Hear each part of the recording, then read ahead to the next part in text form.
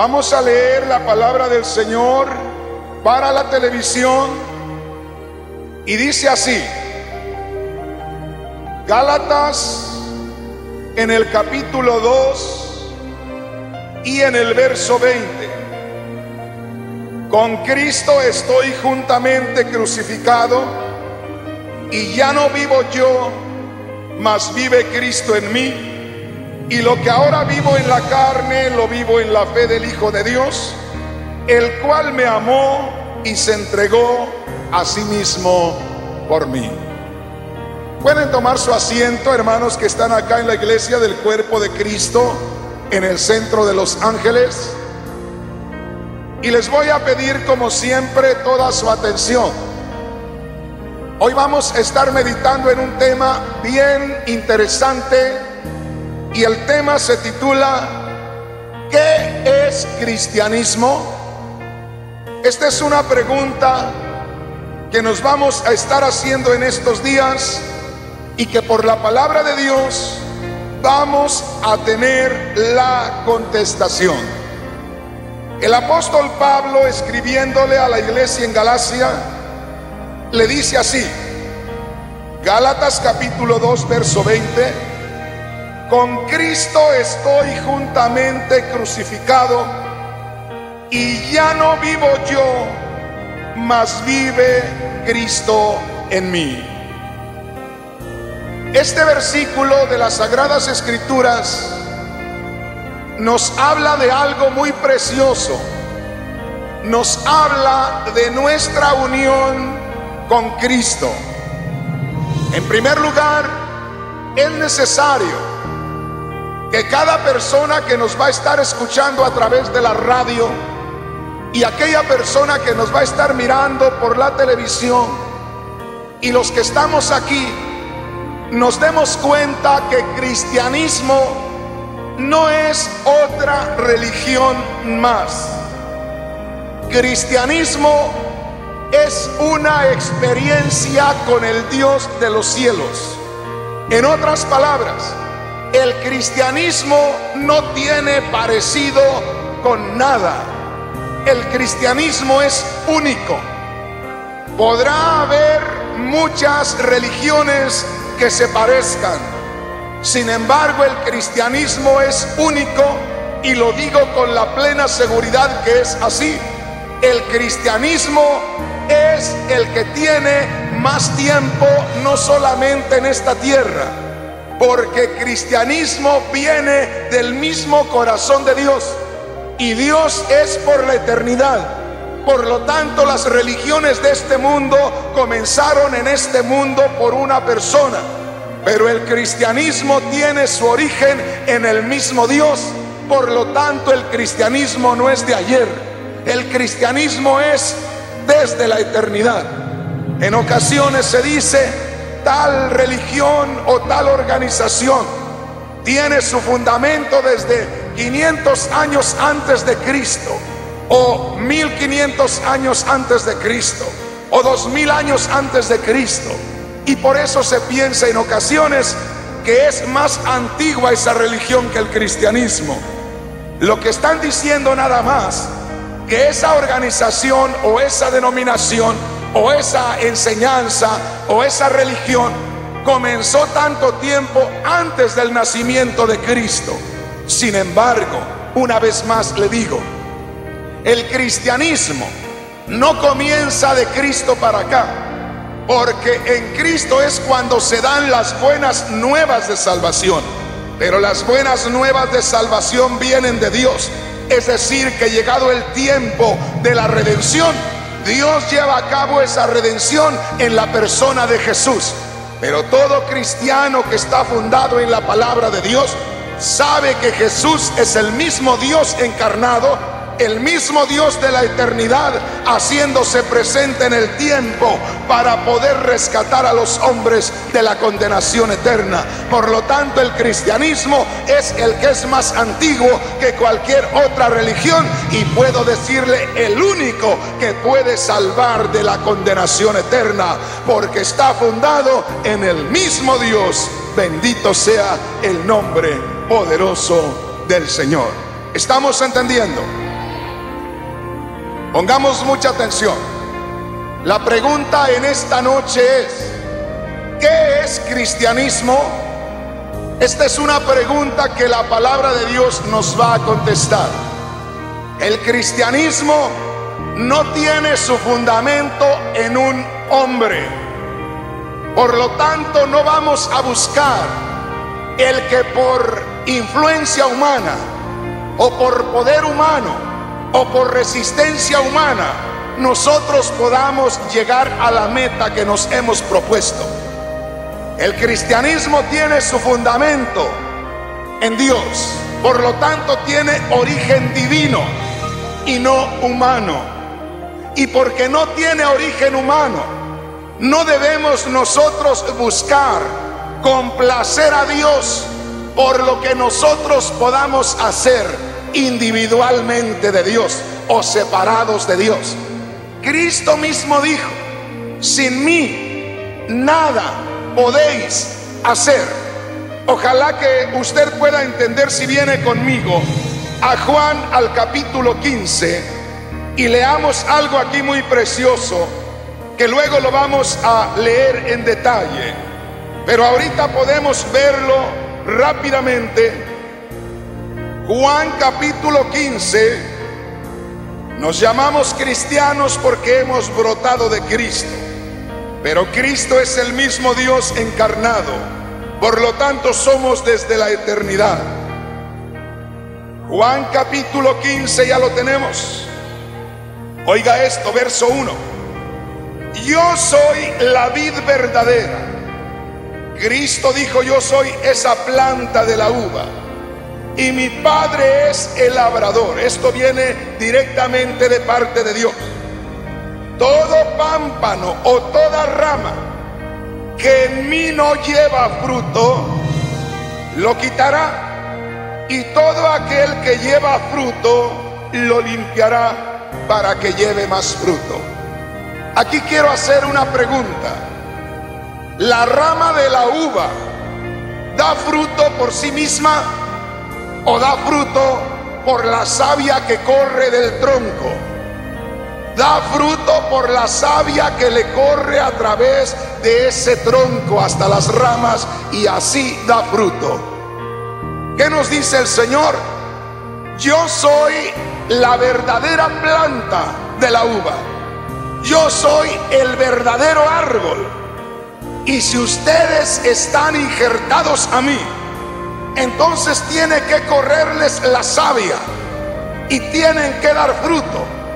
Pero la pregunta es, como cristianos damos fruto por nosotros mismos, ¿verdad que no? Cristo dijo, si están unidos a mí van a poder dar fruto. De manera que la rama no puede dar fruto por sí misma, sino por lo que corre de savia a través de ese árbol. Una vez más, Juan capítulo 15, verso 1. Yo soy la vid verdadera y mi padre es el labrador. Todo pámpano que en mí no lleva fruto, lo quitará y todo aquel que lleva fruto lo limpiará para que lleve más fruto. Verso 3. Y a vosotros estáis limpios por la palabra que os he hablado. Verso 4. Permaneced en mí y yo en vosotros.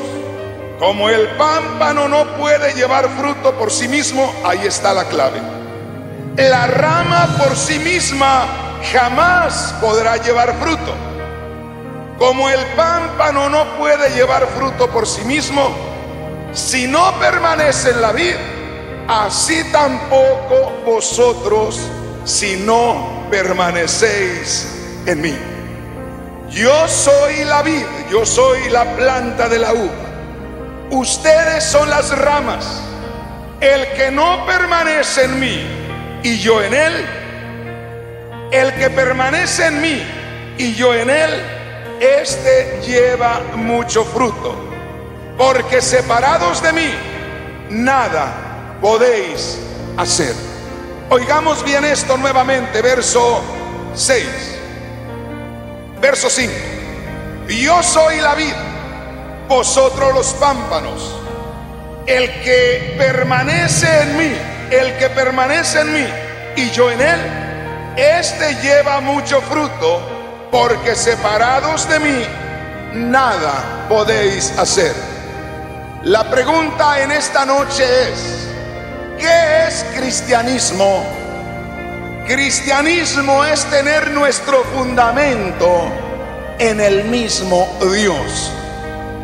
Cristianismo es no buscar hacer las cosas por nosotros mismos, porque nosotros somos creados a la imagen de Dios.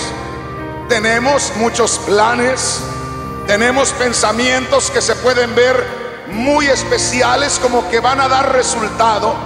Sin embargo, nada que nosotros emprendamos que no tenga su principio en Dios nos va a resultar bien. En otras palabras, no nos esforcemos por hacer algo nosotros mismos, porque cuantas veces busquemos hacer algo por nosotros mismos, vamos a fracasar. Pero si nosotros dejamos que Dios obre a través de nosotros, como dice el Señor, yo soy la verdadera planta de la uva si ustedes permanecen en mí y yo en ustedes, entonces podrán dar fruto. Pero separados de mí, nada pueden hacer. En otras palabras, si no permiten que corra la savia del árbol, las ramas no pueden dar fruto.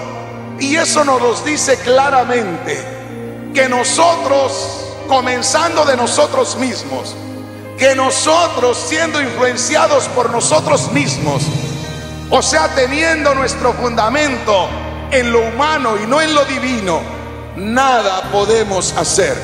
Por lo tanto, en estos días vamos a estar aprendiendo no a hacer la voluntad de Dios, sino a permitirle a Dios que Él sea el que obre a través de nosotros.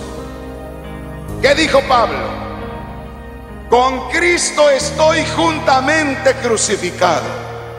Y ya no vivo yo, mas vive Cristo en mí. Y terminó diciendo, y lo que vivo en la carne, lo vivo en la fe del Hijo de Dios.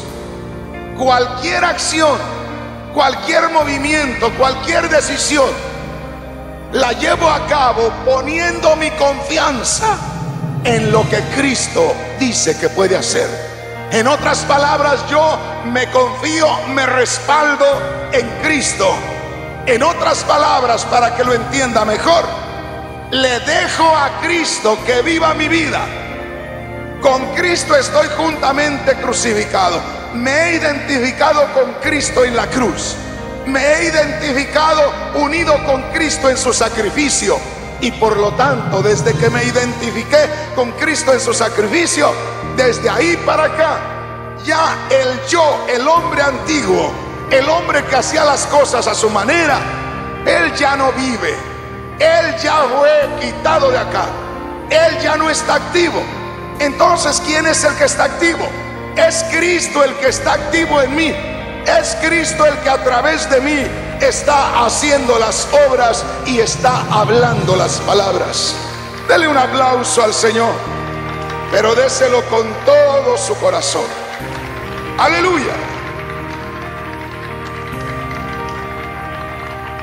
Si estamos entendiendo. En estos días vamos a estar meditando en esto que es bien importante ¿Qué es cristianismo? Y posiblemente vaya a haber personas que han estado orando y tengan que dejar de orar. Alguien pueda decir, hermano, ¿qué le está pasando? Es que posiblemente que haya hermanos los cuales están orando y le están pidiendo a Dios que les quite el mal carácter que tienen y están perdiendo su tiempo. ¿Por qué?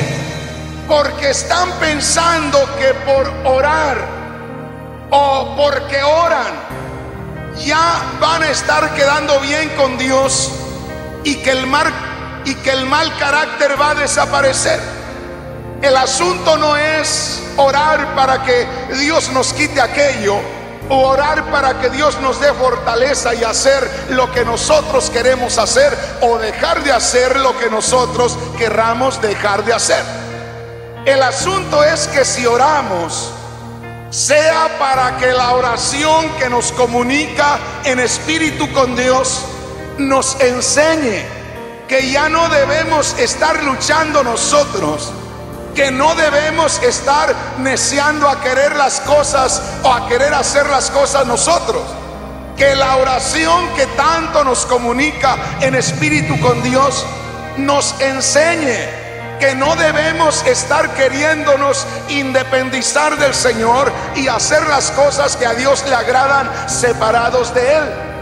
Si estamos orando, ya sea cinco minutos o cinco horas, que la oración nos enseñe que tenemos que permitirle a Cristo vivir nuestra vida. Mientras que Cristo no viva nuestra vida, siempre vamos a fallar, siempre vamos a tener problemas.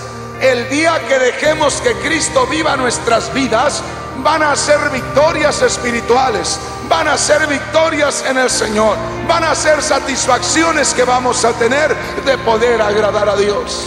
Puede darle un aplauso al Señor con todo su corazón. Gloria a Dios. Si entendemos la palabra del Señor. Venga conmigo a la segunda de Corintios capítulo 5. Quiero citarle esta escritura que tanto hemos escuchado y hemos leído. Leamos esto y veamos lo que quiere decir. Segunda de Corintios capítulo 5 verso 17. Esta es una escritura bien conocida por todos nosotros. Hoy estoy hablando con el pueblo cristiano y también estoy hablando con aquellos que están acercándose apenas al Señor para que comiencen bien su carrera cristiana. Segunda de Corintios capítulo 5 verso 17. Pablo dijo, de modo que si alguno está en Cristo, nueva criatura es. Las cosas viejas pasaron, he aquí todas son hechas nuevas. La mayoría de las personas que han creído en Cristo, al leer esta escritura, piensan que al estar unido con Cristo, ya ahora somos 100% diferentes a lo que éramos ayer. En otras palabras, que ayer yo era muy malo, que hoy oí la palabra y creí en Cristo y que ahora tengo que ser muy bueno. Pero yo me doy cuenta que no es así. Ayer comencé a escuchar la palabra, sentí la justificación delante de Dios, me sentí diferente pero me di cuenta que apenas voy comenzando a tener cambios en mi vida. Y los cambios no son por lo que yo haga. Los cambios van viéndose a cada día por lo que yo le permita a Cristo hacer en mí. Que quede bien claro esto. Segunda de Corintios 5, 17, donde dice, de modo que si alguno está en Cristo, nueva criatura es las cosas viejas pasaron, he aquí todas son hechas nuevas, no quiere decir que ayer era malo y, ahora soy bueno 100%. No quiere decir que ayer era 100% malo y ahora soy 100% bueno. Lo que quiere decir es que desde el momento que creí en Cristo, vine a convertirme en hijo de Dios. Y Dios que es espíritu hizo morada en mí. Desde el momento que yo creí en Cristo, Dios que es espíritu hace su entrada en mí. Me convierto en el templo del Espíritu Santo, me ilumina espiritualmente, puedo ver claramente lo que es el mal y lo que es el bien. Siento deseos de rechazar el mal y siento deseos de abrazar el bien, pero no es más que la vida de Cristo en mí la que va a vivir esa vida cristiana porque solo voy a ser la misma persona antigua si ahora he creído en Cristo. Hay que dejar que Cristo en nosotros sea el que viva nuestra vida. Bendito el nombre del Señor. Para que esto sea más entendible, venga a Romanos capítulo 8. ¿Qué es cristianismo? Cristianismo es algo que se origina en Dios. Cristianismo es no tratar de hacer nosotros por esfuerzos humanos lo que le agrada a Dios, porque nunca lo vamos a lograr. Cristianismo es permitir que Dios viva a través de nosotros. Oiga lo que dice Romanos capítulo 8, verso 2. Porque la ley del Espíritu de vida en Cristo Jesús me ha librado de la ley del pecado y de la muerte. El pecado reinaba en mi vida hasta el día que por el Evangelio yo recibí el mensaje, lo acepté, creí en Cristo. Al creer en Cristo hay una toma de gobierno de parte de Dios en mi vida. En otras palabras, el pecado estaba gobernado en mí. Yo hacía las cosas según yo, como yo quería, pero no era como yo quería. El pecado en mí me gobernaba, pero decía yo que yo podía hacer esto, aquello, aquello otro. Pero cuando escucho el Evangelio, lo recibo, lo creo, entonces el gobierno de Dios toma el control en mi vida y el yo, el hombre aquel que decía que hacía las cosas y deshacía las cosas, queda destronado y en lugar del yo se entrona Cristo en mi corazón. Ojalá que estemos entendiendo esto. Porque puede ser que en estos días hay hermanos que se encuentren con que todavía el yo, aquel hombre antiguo todavía está en su trono y que por eso no le puede salir nada bien. ¿Por qué? Porque el yo, el egoísmo propio todavía está en el trono de su corazón. Y desde el momento que escuchamos el Evangelio y Dios vino a ser morada a nosotros, ya Cristo tiene que estar en ese trono. Y de ahí Cristo tiene que gobernar nuestra vida. Todas nuestras acciones, nuestras palabras, no sean las nuestras. El mismo Cristo dijo, las palabras que yo les hablo no son de mi propia cuenta.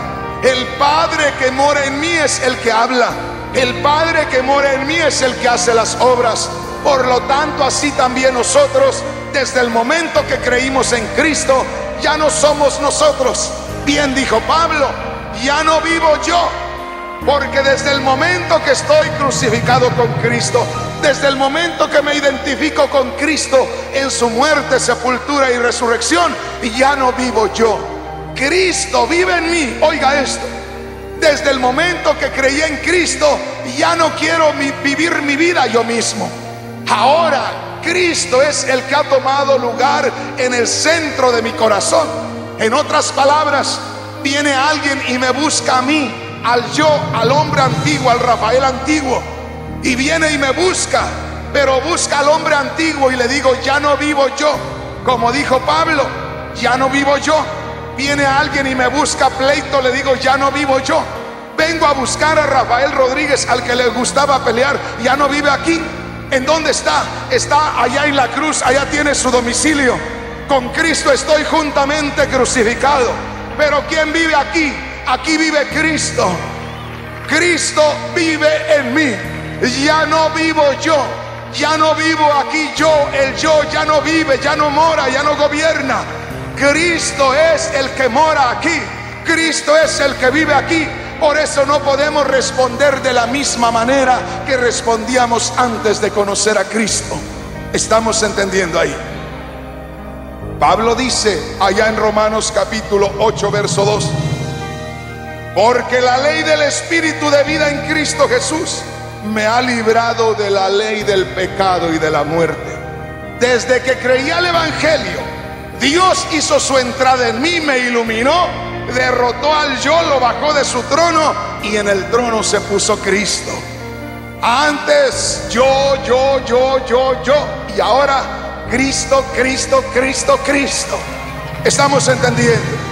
Antes usted, usted, usted para todo, yo voy a hacer, yo voy a ir, yo voy a decir, y yo voy a hacer esto otro, pero ahora Cristo, Cristo, Cristo es el que debe estar en primer lugar.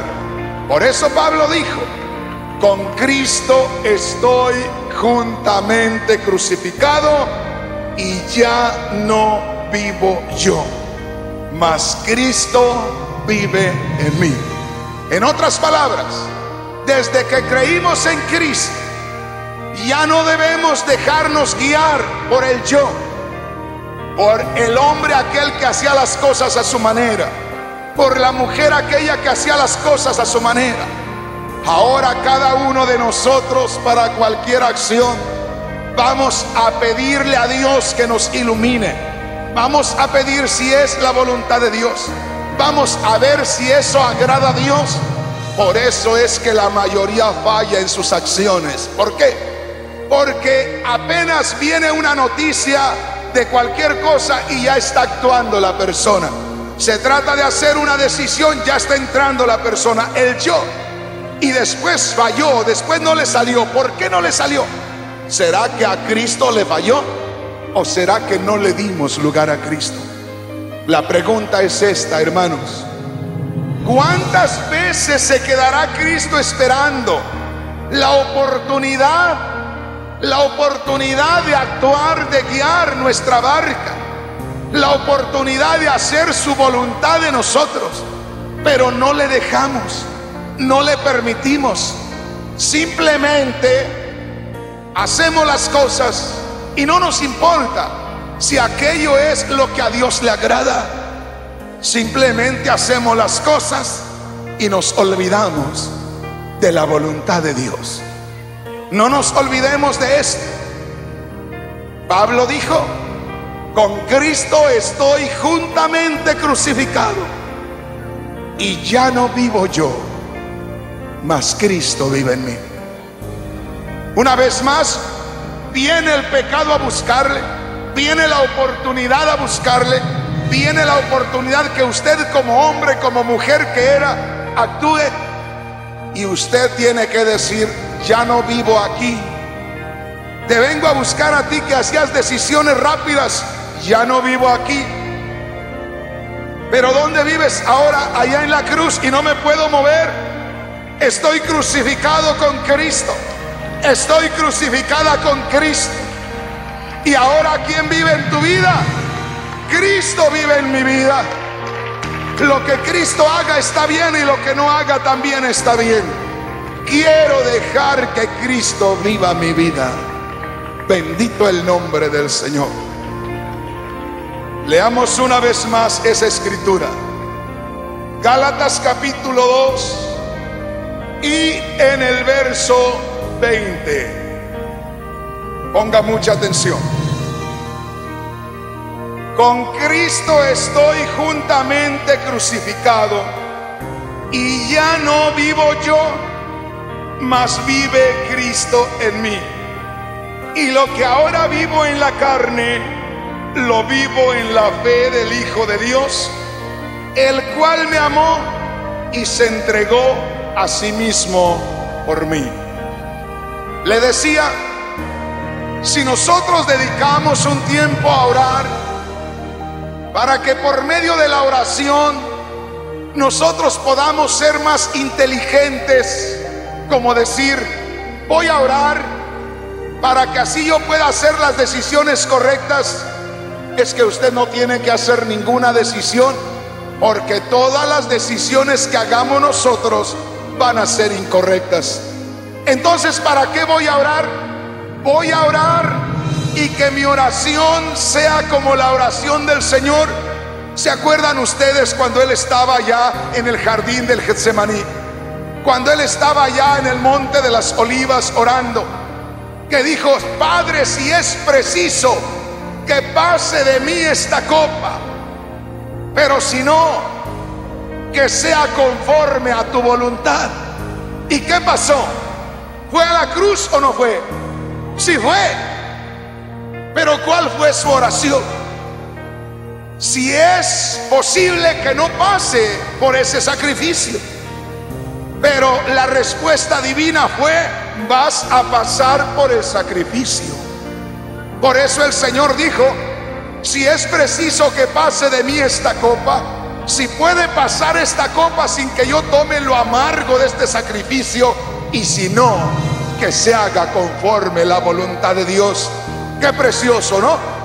Que nosotros podamos orar, pero no orar para decir, voy a orar para que Dios me dé fortaleza espiritual y hacer decisiones. No, Señor.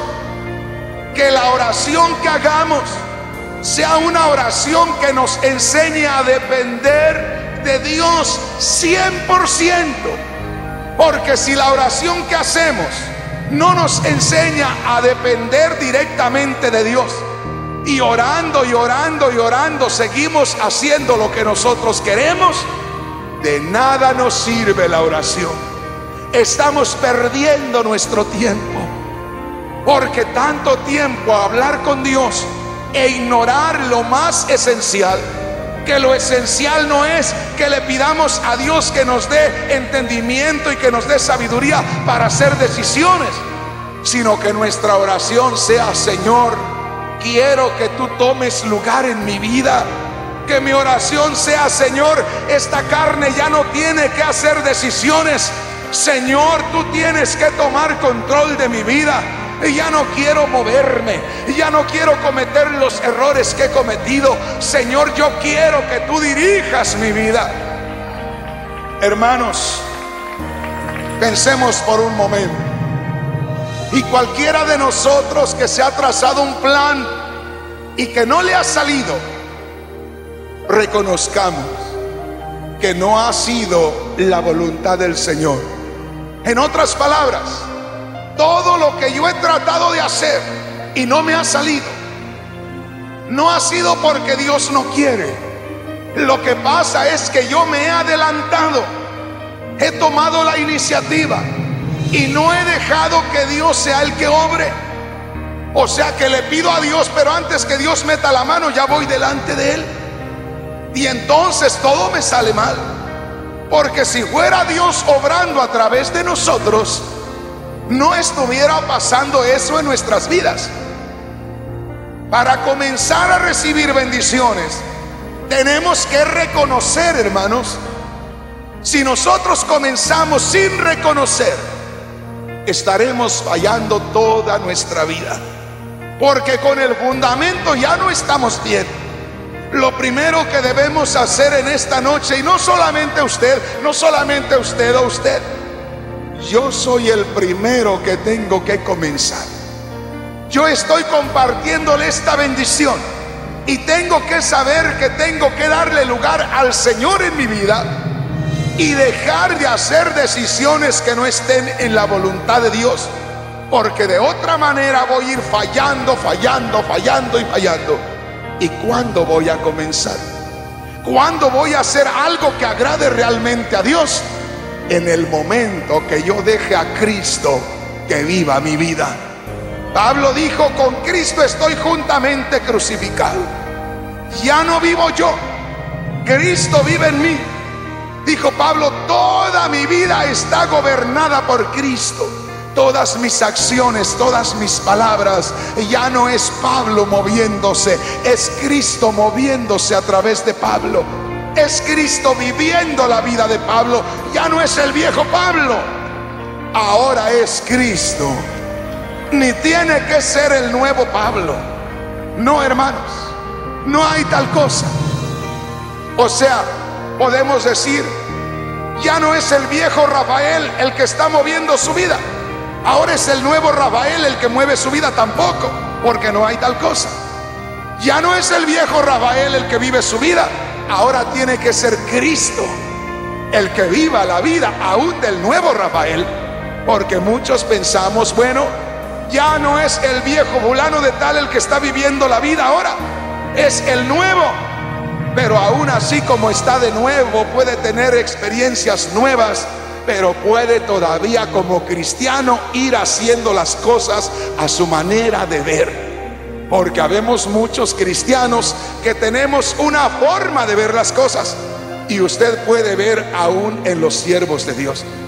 Entre los siervos de Dios hay cada manera de trabajar para el Señor. Que hay quienes dicen, si no le gusta, mira, ahí está la puerta, por esa salen 50 y por acá entran 100. ¿Será eso correcto? No, hermanos, no es correcto. Pero a un siervo de Dios le parece que está bien. Y siente, dice que siente la unción cuando lo dice. Pues no es la unción de Dios, no es la unción del Espíritu. Ese es el sentir celoso del hombre, pero un celo de carne, un celo carnal, no un celo de Dios. Entonces ahí tenemos que saber diferencia. Tenemos que saber hacer diferencia entre lo que agrada a Dios y lo que no es agradable al Señor. ¿Entendemos hasta ahí? Una vez más, que quede claro, Gálatas capítulo 2, verso 20. Con Cristo estoy juntamente crucificado. Y ya no vivo yo, mas vive Cristo en mí. Con Cristo estoy juntamente crucificado. Y ya no vivo yo, mas Cristo vive en mí. En esta noche vamos a descubrir cosas muy hermosas. ¿Cuántos de ustedes creen que Cristo murió en la cruz del Calvario para justificarnos de nuestros pecados? Cristo murió en la cruz para justificarnos delante de Dios con ese sacrificio. Ahora ponga mucha atención. No solamente es la justificación, por el sacrificio de Cristo nos justificamos delante de Dios, pero después del sacrificio, Cristo también fue a la tumba y también resucitó. Y porque Cristo resucitó, ahora yo tengo una victoria en mi vida espiritual. Una cosa es mi justificación delante de Dios y otra cosa es mi caminar en la vida cristiana. Y por eso hay muchos hermanos y hermanas que solamente tienen la justificación delante de Dios o sea, tienen ese acercamiento con Dios, son perdonados, son nuevas criaturas, pero no tienen una vida cristiana que dé fruto, porque no tienen a ese Cristo viviente en ellos. Han usado a Cristo solamente para ser justificados, pero se les hace difícil dejar que Cristo viva su vida. Óigame bien lo que le estoy diciendo. Es bien fácil tomar a Cristo en lo que a nosotros nos conviene. Es decir, para el perdón de mis pecados, para mi justificación delante de Dios, recibo su sacrificio. Pero Cristo no solamente murió por nosotros, sino resucitó también por nosotros. Está vivo, está en gloria. Y Cristo no solamente murió para justificarnos, sino resucitó para darnos una victoria en nuestra vida espiritual. ¿De qué manera? Venga conmigo a Romanos capítulo 5 y verso 10. Porque si siendo enemigos fuimos reconciliados con Dios por la muerte de su Hijo. Ahí tenemos la reconciliación con Dios. ¿Por medio de qué? Del sacrificio de Cristo. Tenemos la reconciliación, nos amistamos con Dios. ¿Por medio de qué? Del sacrificio. El sacrificio de Cristo nos sirve para qué? Para volvernos amigos de Dios. Pero algo más dice enseguida. ¿Qué dice? Porque si siendo enemigos fuimos reconciliados con Dios por la muerte de su Hijo. Oiga esto. Mucho más. Quiere decir que hay algo más después de la justificación. Mucho más. Estando reconciliados, siendo ya amigos de Dios seremos que salvos por su vida. Una cosa es ser justificados y otra cosa es terminar la carrera. Por ejemplo, sabemos nosotros que Dios creó a Adán y le dio un mandamiento. Y si usted no sabía, Dios creó a Adán para avergonzar a Satanás. Dios creó a Lucero o Luzbel aquel ángel de luz, hermoso, poderoso, y le falló a Dios. Y cuando aquel ángel que ahora es Satanás le falló a Dios, Dios dijo, voy a crear a alguien muy pequeño. Y con ese alguien muy pequeño voy a avergonzar a Satanás. Le voy a mostrar a Satanás que un hombre así de chiquito y con menos poder que él, el hombre va a serme fiel. Entonces Dios creó al hombre para avergonzar a Satanás. El hombre fue creado por Dios y cayó en el hoyo del pecado. Cuando viene Cristo, Cristo es nuestro Salvador, nos saca del hoyo. Pero ¿será que solamente nos deja en el nivel donde estaba Adán y hasta ahí? No. ¿Cuál era el propósito de Dios al crear a Adán? Avergonzar a Satanás. Entonces ahora Cristo nos rescata del hoyo y nos pone en el nivel donde estaba Adán. Pero ¿para qué nos pone donde estaba Adán? ¿Para volvernos a caer? No, para irnos en esa línea tampoco. Para poder vencer a Satanás, para avergonzar a Satanás. Por eso aquí hay algo muy precioso. Una vez más, Romanos capítulo 5, verso 10. Porque si siendo enemigos fuimos reconciliados con Dios por la muerte de su Hijo. Somos reconciliados, volvemos a amistarnos con Dios por el sacrificio de Cristo. Y como le digo, puede ser que alguien solamente se haya quedado con la reconciliación y diga, tengo a Cristo aquí para el perdón de mis pecados. Voy haciendo cosas que no agradan a Dios y vengo y que me perdone el Señor, porque ahí tengo el sacrificio que responde por mí. Por eso a veces podemos ir a cada rato cayendo de rodillas al altar o en cualquier lugar, pidiéndole perdón a Dios por las mismas cosas que estamos cometiendo a cada día. ¿Por qué? Porque estamos tomando a Cristo a medias. Tenemos un Cristo nada más para la justificación Queremos caminar y nos caemos porque solamente comemos a medias el cordero. Comemos al Cristo nada más de la justificación, pero no comemos al Cristo de la vida cristiana. Oiga lo que dice el total. Romanos capítulo 5, verso 10. Porque si siendo enemigos fuimos reconciliados con Dios por la muerte de su Hijo. Mucho más, quiere decir que hay algo más todavía y es lo más importante mucho más estando reconciliados, seremos salvos por su vida. Dice, ya estamos reconciliados aquí. Qué bueno, gloria a Dios, ya estoy completo. No, Señor, le falta algo más. ¿Qué me falta? Le falta ser salvo por la vida de Cristo. Pero ¿cómo es eso?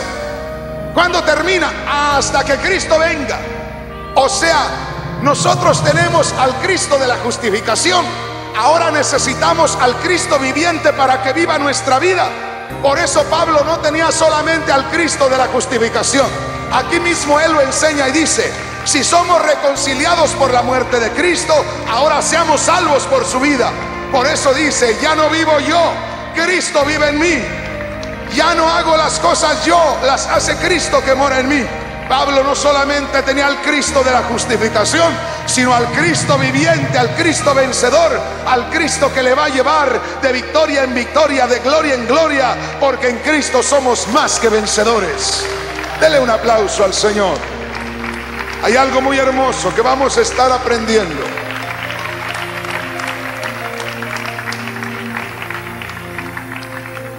Aquí tengo una Biblia viejita que allá muy al principio de mi conversión se la regalé a mi esposa. Y aquí le voy a leer lo que dice Romanos capítulo 5 y en el verso 10. Es la versión la Biblia al día. Romanos capítulo 5 verso 10, oiga lo que dice. Dice así. Romanos capítulo 5, verso 10, la versión La Biblia al día. Y si siendo enemigos se nos reconcilió con Dios por la muerte de su Hijo, oiga esto, gloriosas serán sus bendiciones ahora que somos amigos y Él vive en nosotros. Qué precioso, ¿verdad? Fíjese bien, una vez más, Romanos capítulo 5, verso 10. Y si siendo enemigos se nos reconcilió con Dios por la muerte de su Hijo, en otras palabras, si ya tenemos al Cristo de la justificación, gloriosas serán sus bendiciones ahora que somos amigos, amistados con Dios y Él vive en nosotros. De manera que dice San Pablo, no solamente tengamos al Cristo de la justificación, porque eso es fácil. El Cristo de la justificación estamos recibiendo todo de Él, pero el Cristo viviente exige que nos rindamos a Él. El Cristo viviente no nos pide que hagamos algo. Él lo quiere hacer a través de nosotros. La ley decía, haz esto y vivirás. Honra a tu padre y a tu madre y vivirás. Guarda el séptimo día y vivirás. Honra a Dios con todo tu corazón y vivirás. No mates y vivirás. Haz esto y vivirás. Y Cristo dice, déjame a mí vivir tu vida y vivirás. O sea, la ley exigía y si no cumplíamos muerte, ahora Cristo dice, no hagas nada, déjame a mí hacer la obra. ¿Quiere ver algo? Venga conmigo a Juan. Gloria a Dios. Juan capítulo 6 del verso 25 en adelante. Por eso le digo, la ley exigía y si no cumplía la muerte, Cristo exige, pero no exige que lo hagamos. Cristo exige que le dejemos el lugar. Juan capítulo 6, verso 25 en adelante. Y hallándole al otro lado del mar, le dijeron, Rabí, ¿cuándo llegaste acá? Respondió Jesús y les dijo, de cierto, de cierto os digo, que me buscáis, no porque habéis visto las señales, sino porque comisteis el pan y os saciasteis. Oiga esto, trabajad no por la comida que perece, sino por la comida que a vida eterna permanece, la cual el Hijo del Hombre os dará, porque a este señaló Dios el Padre. El Señor les pedía que hicieran algo.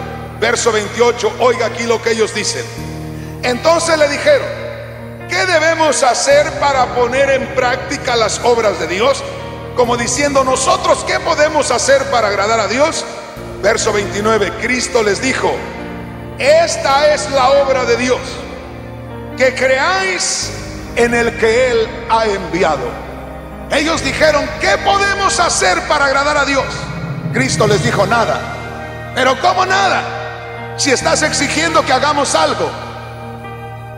Lo que ustedes tienen que hacer, dice, que crean en el que Dios ha enviado. Pongan su confianza en Cristo. En otras palabras, no haga nada porque todo lo que haga no va a servir de nada. Confíen en Cristo. Déjenle la barca a Cristo, no la quieran mover ustedes. Se van a hundir. Déjenle la barca a Cristo. Por eso dijo, la obra de Dios es que crean en el que Él ha enviado. Ellos dijeron, ¿qué podemos hacer para agradar a Dios? Cristo dijo, nada. ¿Cómo nada si estás pidiendo que nos esforcemos? Por favor, esfuércense en hacerse a un lado. Esfuércense en hacerse a un lado y dejarme la barca. Porque ustedes solos no podrán llegar a ningún lado. Porque separados de mí, nada podéis hacer. Alguien pueda decir, pero yo voy con Cristo. Hermanos, óigame bien. Y aquí le voy a terminar. Muchas veces decimos, yo creo en Cristo. Si es cierto, yo le creo. Pero hay una cosa. Y yo puedo decir, yo creo en Cristo. Y se lo puedo decir como siervo de Dios. Y como siervo de Dios le pregunto, si yo creo en Cristo, ¿creerá Cristo en mí? Ahí está la duda. Yo puedo creer en Cristo, pero ¿creerá Cristo en mí? En otras palabras, yo confío que Cristo me va a guardar, pero Cristo confiará en nosotros. Cristo nunca falla, Él es fiel. El problema no está en Cristo, está en nosotros. Yo creo en Cristo, pero Cristo creerá en mí. Yo confío en Cristo, pero confiará Cristo en mí. ¿Entendemos? Ahí está la pregunta. Yo estoy con Cristo, pero estará Cristo en mí. Eso es lo más importante lo que yo diga no me va a llevar a la presencia de Dios, sino lo que realmente es. Si yo creo en Cristo, Cristo tiene que creer en mí. Si yo confío en Cristo de la misma manera, Cristo tiene que confiar en mí. Porque de otra manera estoy perdido. Hermanos, pongámonos de pie en este momento.